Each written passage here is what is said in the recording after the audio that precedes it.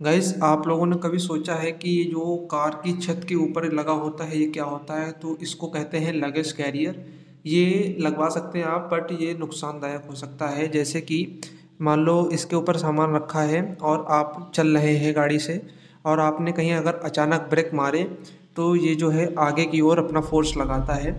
मेरे सामने एक ऐसा एक्सीडेंट हुआ, मैं जा रहा था और मेरे सामने कार चल रही थी ऐसे ही। तो उसने जब उसका ये थोड़ा जो लगेज कैरियर था वो ढीला था छत पे से।